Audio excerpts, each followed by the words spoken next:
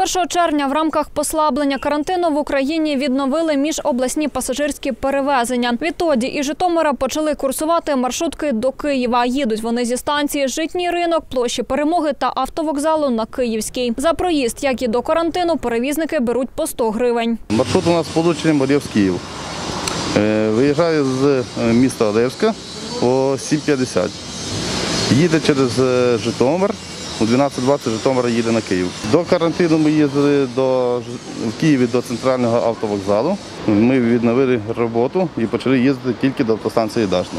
Графік не змінився, але через те, що пасажиропотік зменшився, замінили великі автобуси на маршрутки. Раніше возили автобуси, е, кількість е, в автобусі значно більша, а зараз 2-3 чоловіка їздить після карантину. Звичайно, змі- змінилось по кількості людей. Водій також показує антисептик, який має бути у салоні, і додає, що пасажирам без масок заходити не дозволяють. Майже порожні маршрутки їздять до столиці з автостанції Житній ринок, але вони, як і раніше, прямують до Київського залізничного вокзалу. Ми працюємо з 1, 1 червня 2020 року. Е, Маршрут працює в звичайному режимі 5.31 кожних 45 хвилин до 8, до 20.00 вечора.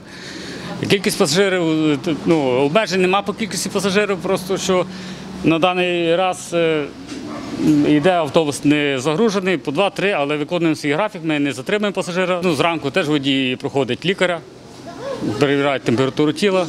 Машина кожен, кожен день і після кожного рейсу миється і внутрі салону дез- дезінфікується. Однак через збільшення кількості хворих Житомирська облдержадміністрація може знову посилити карантинні заходи, які стосуватимуться і транспортного сполучення. Про це у коментарі Житомир.Інфо 4 червня повідомив голова Житомирської ОДА Віталій Бунечко. Ми займаємося, розкладаємо цю ситуацію. Мені зрозуміло, що багато вчора було перевірено. Якщо брати так відсоток по перед кількість від кількості перевірених, але все рівно багато. Якщо завтра знову буде така динаміка, будемо збирати комісію ТПНС і дивитися навіть е, про перехід тоді в чергову хвилю послаблення. Можливо, навіть будемо розглядати по посиленню карантинних заходів.